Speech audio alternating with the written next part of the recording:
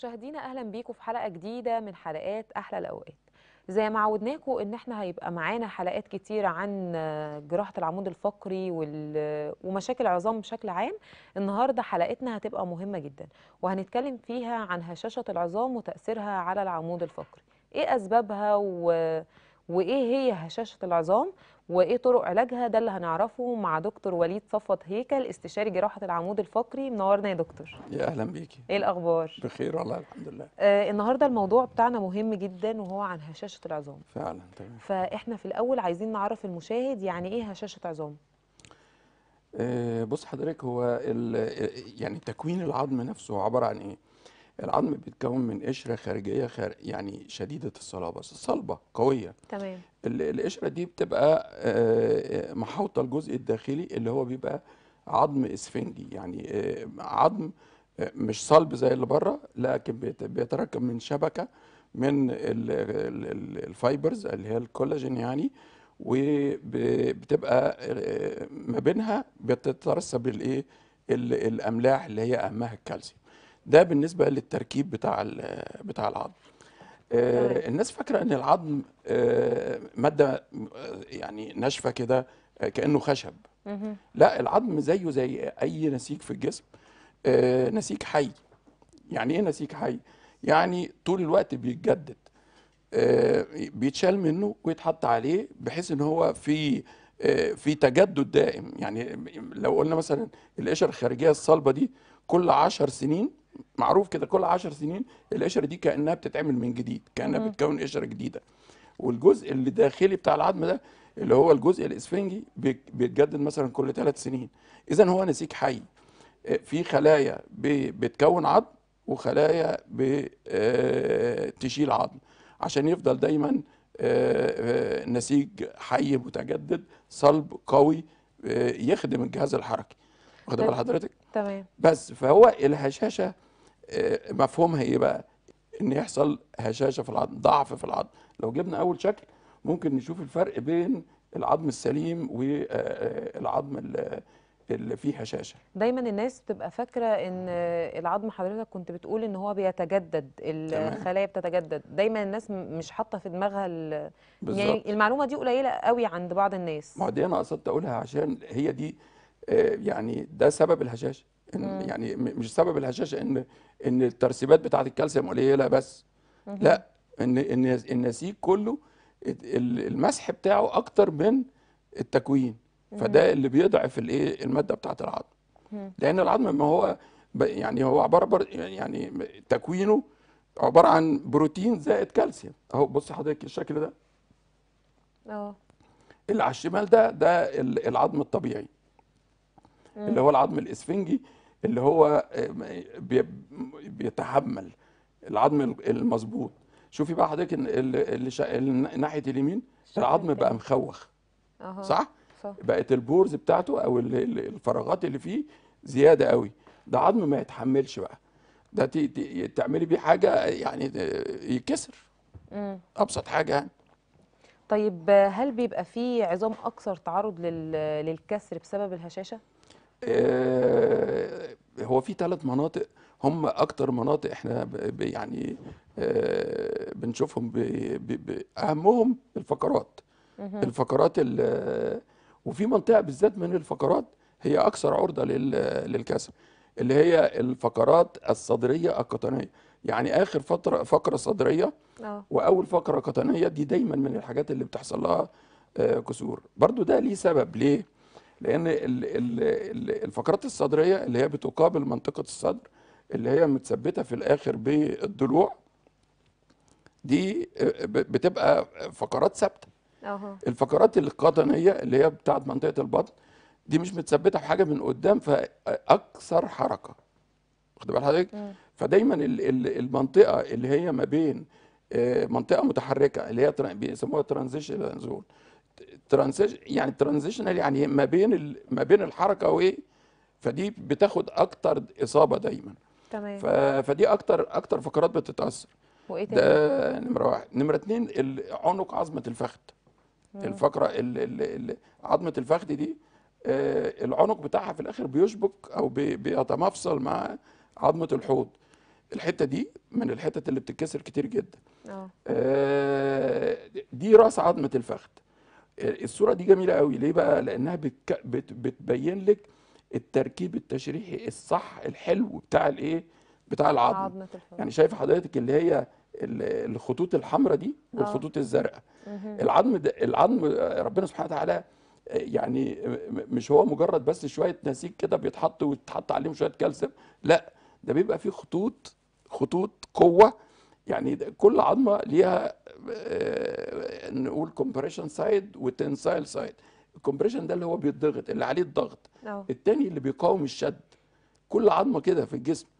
وال يعني ال- الأحمر ده هو ال ال الخطوط الحمراء دي هي هي ال ال الخطوط اللي بيقع عليها الضغط. أما الواحد يقف أما الواحد يشيل حاجة دي اللي بت دي اللي بتضغط وفي نفس الوقت ال- الخطوط الزرقاء دي اللي مش أنا قلت لك في الأول حضرتك إن هو العظم بيبقى متكون من كولاجين. fibers من عبارة عن آه، خطوط آه، كولاجين زي الكولاجين اللي موجود في أي حتة بس نوع معين للعظم يعني. تمام.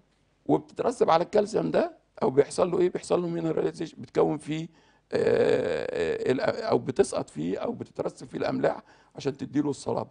مهم. ف تالت حاجة بقى حضرتك في في المناطق اللي اللي ب... ب... يعني متعودين دايما نشوفها بيحصل فيها كسر هي المنطقة بتاعت الرسغ دي. المعصم. المعصم.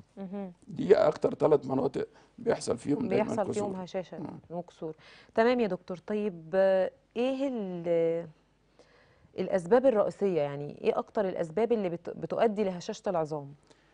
آه، أول حاجة برضو دي معلومة مهمة إن الستات أكثر إصابة آه، بهشاشة العظام. المرة الحلقة آه، اللي فاتت الرجال. كان الرجال أكثر آه، إصابة آه. لل... إحنا بقى للغضروف المرة دي النساء نظبط المعادلة. فهنا الستات أكثر إصابة الحقيقة. وإمتى الستات بيبتدي يحصل لها إصابة؟ آه، اللي هي في الفترة بعد انقطاع الطمس. آه، أول بقى يعني إيه بانقطاع الطمس؟ يعني هي بتفقد آه، بعض ال- الهرمونات اللي هي بتؤدي في الآخر إلى إنها بيحصل لها الدورة الشهرية دي. فال ال ال من ضمن هذه الهرمونات اللي هي الأستروجين. الأستروجين ده من الحاجات اللي بتقلل قوي آه، إن العظم اللي هي آه، ما يتاكلش. واخد بال حضرتك؟ فطبعا م- مع آه، مع انقطاع الطمس بيبتدي الهرمون ده يقل يبتدي العظم يتاكل آه، بصورة أسرع شوية. عشان كده الستات بتحصل يعني آه، بنلاقيها أكثر إصابة. وبرضه عشان يعني آه، الموضوع ده مش بيحصل مباشرة يعني مش مش هو بينقطع الطمس الست يجي لها هشاشه لا ده هي على مدى طويل يعني هي بتاخد لها مثلا 10 15 سنة عشان آه، ربع الكتلة العظمية ده ينزل. يعني مش بسرعة يعني لا مش أول ما لا، بتنقطع اللي. هو بقى بعد 3 4 شهور أو سنة مثلا يحصل هشاشة؟ لا لا لا لا لا مش للدرجة دي يعني. عشان عايزين نطمن لا الستات. لا لا ده هي بتاخد وقت طويل قوي و... وعشان كده لازم الستات تاخد بالها في الفترة اللي هي بعد انقطاع الطمس لأنها تع- تهتم بالغذاء بتاعها يبقى الغذاء بتاعها آه، فيه كالسيوم آه، كتير فيه آه، المواد اللي اللي بتؤدي إلى إن إن إحنا يعني العظم يبقى مظبوط. وتاخد بعض يعني هو مش موجود مش مفروض مش تغذية فقط. لا ده في حاجات supplements من بره هي تاخدها آه، يعني ممكن تشتري آه، vitamins كالسيوم وفيتامين كالسيوم. دي آه.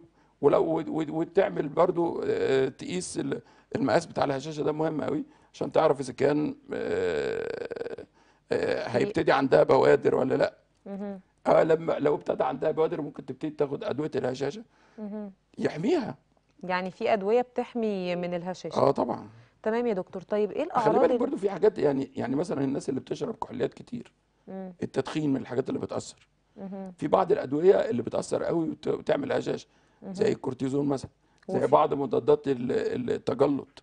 الكورتيزون زي كنا بندردش وحضرتك قلت لي إن الكورتيزون ممكن يعلي الهشاشة بس في ناس بتبقى مضطرة مثلا بيبقى عندها حاجة ومضطر إن هو ياخد كورتيزون. هو كويس إنك سألت السؤال ده لأنه هو الكورتيزون ما هواش بعبع. الكورتيزون آه بيعمل هشاشة لو اتاخد لفترات طويلة بجرعات عالية. آه في ناس بتبقى مضطرة له يعني مضطرة إنها تاخد كورتيزون ما بتخفش غير بيه. أيوه يعني فعلا. ناس عندها مثلا أزمات في النفس ناس عندها روماتويد ناس ع- في أمراض كتير قوي ما بتخفش غير بالكورتيزون. فدول آه، الناس دي لازم آه، يعني يبقوا تحت محطوطين تحت الميكروسكوب إن هم نعمل لهم لازم. يتابعوا آه مم. طيب تمام يا دكتور طب إيه الأعراض مثلا اللي هو حد حس بحاجة كده يعني أشك شوية إن أنا عندي هشاشة في في العظام ولازم أروح أكشف و... وأتابع بقى مع دكتور وكده أعراض الهشاشة آه، بص حضرتك هو ال- الهشاشة للأسف مرض آه، نسميه يعني آه، المرض الساكت سايلنت ما. بيجي آه أنت ما بتحسيش إن عندك هشاشة غير لما يحصل كسر أول ما- بتبقى مشكلة آه. كبيرة جدا آه يعني هو مشكلته الأساسية إن هو ملوش يعني ملوش أعراض واضحة يعني يعني الهشاشة مثلا مش من الأمراض اللي بتعمل ألم مم.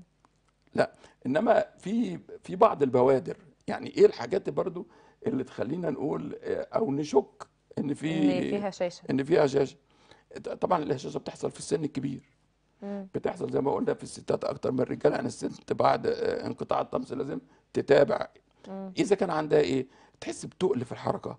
عدم القدرة على آه، يعني آه، ال- ال- الأداء الوظائف اللي هي كانت بتأديها عادي مم. يعني شغل بيتها آه، بقت بطيئة شوية مثلا في شغل البيت حاسة إن. الحركة آه تقيلة عليها الحركه تقيلة تنزل تمشي شوية تلاقي نفسها تعبت بسرعة في فترة هي كانت متعودة إنها تمشي مثلا محطتين أتوبيس دلوقتي بتوصل محطة وتبقى مش قادرة مم. وتبقى مش قادرة إيه مجهود مش لأن في ناس تيجي تقول لك أنا بنهج دي ملوش دعوة بالهشاشه آه. يعني الهشاشه مش بتعمل نهجات بقى في ناس ممكن يختلط عليها الأمر. بالظبط. فهي ال ال ال تقل الحركة ده وعدم القدرة على أداء الوظائف الحيوية دي من الحاجات اللي بتعمل آه، اللي بتعمل لنا تدينا كلو كده أو تدينا مؤشر إن في حاجة مش مظبوطة. إن إحنا بقى لازم نتابع ونشوف بالظبط. نسبة الهشاشة آه. تمام. حضرتك قلت لي إن الهشاشة مرض silent أو آه، مرض ساكت. آه، طيب ولازم بنحس بيه بقى أو بنعرف إن أنا عندي هشاشة لما يحصل كسر. طب دلوقتي مثلا في حد عنده هشاشة وما حصلوش كسر. يعني إزاي نعرف قبل حدوث الكسر إن أنا عندي هشاشة ما ولا لأ؟ مش هتعرفي مش هتعرفي إلا إذا ع- يعني زي ما قلت لحضرتك كده عملتي فحوصات يعني في حص... في في في طب إيه هي الفحوصات اللي بيتأكد بيها المريض آه،. من ممكن ننقل كده بقى على ال- على الفحوصات بالصور لأن آه، اختبار الهشاشة أول حاجة إحنا لما بنعمل أشعة بتلاقي العظم كده آه، يعني شكله آه، باهت. بيدينا يدينا انطباع كده إن وال وال والترابيكلي دي أو ال- الخطوط اللي أنا وريتها لك دي ما تلاقيهاش متكونة مظبوط. وشكلها كده ضعيف. دي دي دي اللي بيخلينا نتوقع من الأشعة لكن الأشعة ما هياش اختبار عشان نبقى واضحين. إنما في اختبار للهشاشه اسمه الدكسا سكان. واخد بالك؟ والدكسا ده ده ده ده حاجة اختبار واضح وما فيهوش أي ده بيأكد لو في هشاشة آه أو بالظبط. مفيش لو جبنا الأشكال ورا بعض كده ممكن في آه، الشكل بتاع الاختبار ده آه، الشكل ده جميل قوي. ليه بقى؟ لأن ده عنق عظمة الفخذ دايما العيان بتاع الهشاشة ده يجي يقول لك إيه؟ أنا كنت واقف على الحوض بتوضى فوقعت فاتكسرت ده يبقى دي كده مشهورة جدا. أهو. اللي هو ال- ال- ال- الناس الكبار اللي هو فوق السبعين مثلا تلاقيه واقف بيقول لك الكلمتين دول. هو الحقيقة العكس. هو كان واقف على الحوض اتكسر فوقع. ليه؟ هو طلع رجله واقف. عشان أيوه هو آه. طلع رجله التانية الرجل دي اللي فيها هشاشه ما استحملتوش اتقطمت فوقع. ده يعني- ده ده المنظر اللي حضرتك شايفاه ده بالظبط. يعني العظم بي بي بيتآكل لدرجة إن هو ما بيستحملش اللي هو ال ال ال الأداء العادي. إن هو مش قادر يقف على رجل واحدة فاتكسرت. بالظبط. في ناس في الهشاشه دي تيجي تقول لك إيه؟ أنا كنت راكبة العربية راكبة ميكروباص مثلا. والميكروباص فيه مثلا 13 14 واحد. آه. خد مطب جامد. اتكسرت. هي اتكسرت واللي بقيه ال 12 ما اتكسروش. عشان اله... بسبب الهشاشة. بسبب الهشاشة. هي وتسأل وتقول لك الله يعني هو المطب ده اللي كسرني؟ أيوه كسرك عشان أنت عندك هشاشة. مم. واخد بالك؟ ف لأن زي ما قلنا الهشاشة بتزيد بالسن وبتزيد آه، وأعراض ان هي م- يعني العظمة نفسها مش متحملة الإيه؟ طب يا دكتور هو آه، بصي الهشاشه برضو حضرتك الشكل ده يعني ده عظمة الحوض. آه. كويس؟ اللي على الشمال ده اللي نص الشمال بتاع الحوض. مم. آه، يعني آه، بيلمع كده وشكله آه، ماكسي والعظم بتاعه مظبوط. شوف الناحية اليمين بقى دي العظم بقى آه العظم بتاعها مخرم متاكل. فده الخالي ده بقى هو بيبتدي يقف عليه. يروح محمل يروح مكسور. دكتور هو أي واحد دلوقتي بيحس بوجع في جسمه وفي الحاجات دي بيحس إن هو عنده هشاشة آه، يعني أنا مثلا بحس مثلا ساعات إن ظهري واجعني جدا بصحى من النوم جسمي مش قادرة ف الواحد بيخاف. إحنا مش عايزين نروش الناس برضو. الموضوع ما هوش ما هوش آه، قوي كده لا زي ما قلت هو لحضرتك هو السؤال اللي أنا هسأله لك بقى ده اللي هيروش الناس وهو روشني أنا أصلا اللي هو إيه؟ اللي هو بقى إيه الأطعمة؟ المشروبات والمشروبات اللي بتؤدي إلى زيادة أو إلى هشاشة العظام. آه. ده بقى السؤال اللي ممكن يطمني وممكن يقلقني أكتر. تيجي تبقى على الحاجات اللي بتزعل. أيوه. لا هو هو بص حضرتك آه، الحاجات اللي فيها كافيين دي طبعا آه، بتزود جدا يعني الناس اللي بتشرب قهوة بإسراف دي الحمد لله ما بشربش. آه الحاجة التانية الكوكا. كل منتجات الكوكا آه بتزود. في ناس بتشرب ال ال ال ال الكوكا دي بصورة آه، كأنها بدل المية كده. يعني المخرج بيقول لي يعني عليا الحمد لله إن أنا فعلا ما بشربش غير آه. الكوكا. لا ده ما دي أول حاجة المية دي وجعلنا من الماء كل شيء كل شيء حي. يعني دي مهمة يعني دي برضه فرصة إن إحنا ننوه عن الموضوع ده لأن آه، شرب المية ده يعني أساسي لكل حاجة. مم. ومن ضمنها أمراض العظام والعضلات. لأن ال- الخلية تكوينها 90% منها مية. فإذا المية دي قلت آه، بيحصل ديهايدريشن الخلية نفسها بتنشف. وبعدين خلي بالك طب انت هتقولي لي مثلا طب ما منتجات الكوكا دي كلها ما هي فيها مية. آه. لا دي مش مية. هي كلها مادة بت... بتاكل ال- العظم زي ما بيقولوا؟ بنتكلم على المية اللي هي المية. آه. كوباية المية اللي من غير أي إضافات. آه. طيب طب برضو في ممكن أمهات كتير تسأل ودماغها تبقى شغالة طب ممكن طفل صغير مثلا سن خمس ست سبع أو إلى 15 سنة آه، أو برضو سن الشباب اللي هم 20 حاجة 20 ممكن يحصل لهم هشاشة؟ إيه، أو لا. حتى لو بيشربوا يعني بيشربوا كوكا أو الحاجات اللي يا- لا فيها؟ لا لا غالبا غالبا لا لأن الأطفال و وفي سن الشباب الكتلة العظمية نفسها في تزايد.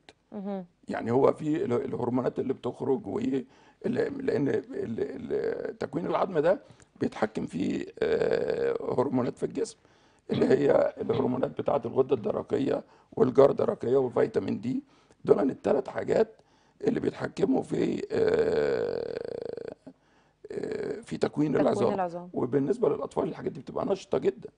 وتكوين العظم نفسه الخلايا اللي بتحط عظم دي بتبقى نشطة. فصعب جدا إنه يحصل له. والكتلة العظمية نفسها بتبقى أكتر يعني في أوج ازدهارها ما بين سن 25 و 30 قبل كده الحقيقة ده لو لو لو لو لو لو جه ضعف في العظم أو ممكن يبقى حاجة تانية غير الهشاشه ما أصل خلي بالك مش الهشاشه مش هي السبب الوحيد لل لضعف العظام. في. حاجات تانية كتير. في نقص الكالسيوم ونقص فيتامين دي الحاجات دي لوحدها كده بتعمل آه، زي ال osteomalacia وال rickets والحاجات دي. حاجات تانية خالص يعني. طيب يا دكتور الرياضة بيبقى ليها دور في في الهشاشة؟ يعني ممكن آه، تبقى حاجة إيجابية لل- للهشاشة؟ تمنعها مثلا ده أساسية مش إيجابية مم. آه، ه- هديكي مثل واضح آه، في عدم التحميل لما آه، الناس اللي بتطلع بتبقى في مراكب الفضاء. دول بيبقوا ما فيش جاذبية فبيبقى عايم كده في ال في ال في الجو في الجو مش آه. محمل على رجليه أصلا. دول بيحصل لهم هشاشه ليه؟ ليه؟ لأن التحميل ده هو اللي هو اللي بيبني العظم واخد بالك يعني الطفل الصغير ما بيتولد بيبقى جسمه كله غضاريف صح. ما بيقفش ما بيعرفش يقف. وشوية شوية بيحبي وشوية شوية بيبتدي يقف على رجله. الوقوف ده هو اللي بيخلي فيه آه، آه، تطلع مراكز للتكلس وتبتدي تبني عظم مع إن في ناس كتير بتقول إن الحركة الزيادة أو إن أنا أشيل مثلا حاجة ده ممكن. يؤدي أكتر لل... للهشاشة. لا لا لا. هو هو انت العكس بقى. مريض الهشاشة ما يستحبش بقى إن هو يعمل مجهود زيادة أو يعمل لكن آه، لكن الحركة في- في والحاجات في دي العادي والرياضة؟ لازم تمارس الرياضة لأن الرياضة دي هي اللي بتقوي العظم. هي اللي الاستريسز اللي بتتحط على العظم دي هي اللي بتزود الصلابة بتاعته. هي اللي بتخليه ينمو مظبوط. ما هو العظم ده زي ما قلت لحضرتك مادة حية. إحنا اتفقنا إن هو نسيج حي. يعني بيطول يعني ما دام حي يبقى بيكبر. بيطول في الطول وبيزداد في السمك. إيه اللي بيخليه يعمل كده؟ الرياضة والمشي. وال... والرايح والجاي كده يعني. طب زي ما إحنا قلنا طبعا إن في أطعمة وفي مشروبات بتؤدي للهشاشة أكيد في أطعمة وفي مشروبات تانية يعني بت... بتحسن من ال... من من ال- الهشاشة. طبعا. يعني نمرة واحد وبالبنط العريض كده اللبن ومنتجاته. مهم. عشان الناس اللي بتقول لك أنا ما بحبش اللبن ولا وما فيش بيني وبينه عمار آه. آه، لا أصل اللبن ما بيحبنيش. أنا سبحان الله أنا الحلقة دي مش عارفة في إيه. بيبسي الكوكا بشرب اللبن ما بشربوش. لا لا الحاجات دي مهمة قوي يعني آه، لو أنت يعني اللبن يعني ما بتستساغ يعني مش طعمه مش مستساغ عندك. آه، اعمليه يعني حطي عليه حاجة.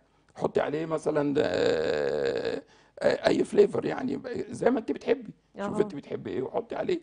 واخده بالك بس ما تحطيش عليه شاي بقى وتحطي عليه كاكاو وتحطي لا عليه ما حاجات بشربش ال- الحاجات ال- ولا الشاي ولا القهوة ولا الحاجات دي خالص الحمد طيب لله. حلو جميل. آه على فكرة الشاي من الحاجات المتهمة غلط. يعني الكافيين بتاع القهوة يعمل لكن, لكن الشاي, الشاي لا. لا. بس الشاي برضو نصيحة ما تشربوش مباشرة بعد الأكل. ده في ناس بتشرب أول ما تصحى يقول لك نحبس. آه. الحبس ده هو حبس فعلا. هو كده بيحبس الكالسيوم جوه آه، الأمعاء وما بيمتصش ال- الشاي فيه مادة بتعلق الكالسيوم ما بتخلوش يمتص. آه، وإيه الأكلات برضو اللي بتؤدي هقول لك معلومة ظريفة؟ جدا الناس طبعا ال ال ال ال الكالسيوم وال آه، والفيتامين دي والحاجات دي بتبقى موجودة في ال في ال vegetables أو في ال- اللي هي الخضروات. مش كل الخضروات اللي فيها الكالسيوم أو أو الامتصاص بيبقى efficient أو سريع أو كويس يعني. زي مثلا السبانخ. السبانخ من الحاجات اللي مشهورة إن فيها كالسيوم كتير لكن الكالسيوم بتاعها ما بيمتصش. ليه؟ لأن الكالسيوم بتاعها مرتبط بال oxalate ك- واخد بالك؟ فبيعلقوا وما بيخلوش يمتص وبي- وبيخرج في الإخراج. فدي برضو من الحاجات المعلومات اللي ال funny شوية في الموضوع. تمام. طب يا دكتور دلوقتي لو واحد انت قلت زي ما قلنا إن الهشاشة مرض صامت. آه، أنا ما عرفتش إن أنا عندي هشاشة و- وسبت نفسي بقى سنة سنتين وبرضه ما حصليش كسر اللي هو أنا أروح للدكتور فالدكتور يعرف إن أنا عندي هشاشة وحاجات كده. بس أنا بقى تركت ما اتعالجتش.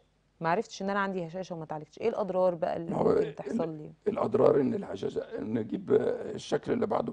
اللي هو الحاجات اللي بتقول لنا المقاس بتاع الهشاشه آه، يعني بص الشكل ده. آه. اللي على الشمال خالص ده دي معلومة مهمة برضو عن الهشاشه ساعات مريض الهشاشه يقول لك أنا حسيت إن أنا قصرت. الشكل اللي على الشمال خالص ده البني آدم م- م- م- واقف مظبوط منتصب. الشكل اللي بعده بدأ يحصل انضغاط في الفقرات. بدأ اللي هو ينحني لقدام. آه. اول ما بيتحني لقدام مع كمان الانضغاط بتاع الفقرات ده بيقلل الطول بتاع منطقة الجذع. مم. وشوف الت- التالت صورة بقى انحنى ابتدى يمسك عكاز لأن هو مش قادر عضلاته وعظمه مش قادر يصلب طوله لورا. هات لنا بقى الشكل اللي بعده. نقدر ان دي ده ده دي صورة بتوضح الكسر بتاع الفقرات. شكل الكسر بتاع الفقرات. شوفي محطوط عليه دايرة حمراء. الحمراء. نجيب الشكل اللي بعده برضو. ده الاختبار بتاع الهشاشه. اللي بيجي لنا بقى من الايه؟ لأن الاختبار الهشاشه ده بيبقى عبارة عن نوع من آه، ب- آه، بيتعمل في مراكز الأشعاعات. فبيعمل لنا الاشعه على الثلاث مناطق اللي أنا قلتهم لحضرتك دول. اللي هو منطقة العنق الفخذ ومنطقة الفقرات بتاعة الظهر والمعصم. وابتدي يقارنهم بالافريج. في نفس السن بيبقى فيه آه، بتبقى ال value بتاعتهم قد إيه ويبتدي يعمل لنا ال curve ده. طالما النقطة اللي هو انت حضرتك شايفاها دي آه في الأخضر يبقى ده ما عندوش هشاشة تمام لو النقطة دي اتنقلت للأصفر يبقى عنده ضعف في العظم osteopenia.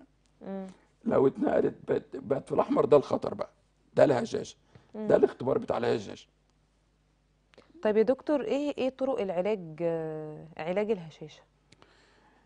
آه، لو اكتشفنا ان في آه، يعني هشاشة بال بال بال بال بالاختبار اللي إحنا حاطينه ده آه، ففي أدوية آه، خاصة بالهشاشة.